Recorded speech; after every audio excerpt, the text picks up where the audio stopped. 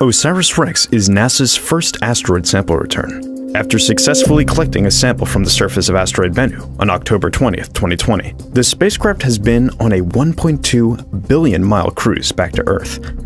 14 days out from sample return, the spacecraft will target the Utah Test and Training Range on Earth.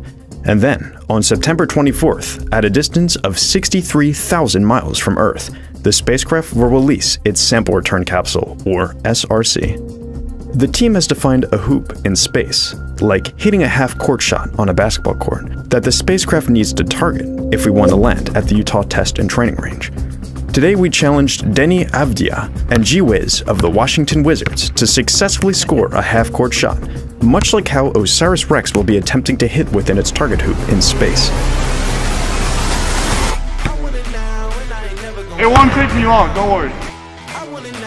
While seeking a half-court shot and landing a sample return capsule are both challenging, with practice, patience, and planning, the teams expect success.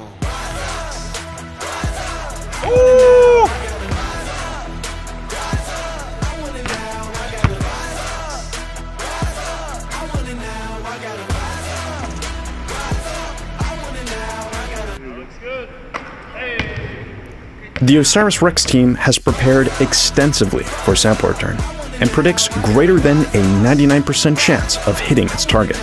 After the capsule is retrieved, the samples from asteroid Bennu will be taken to NASA's Johnson Space Center in Houston, Texas, and will be curated, distributed, and studied for decades to come.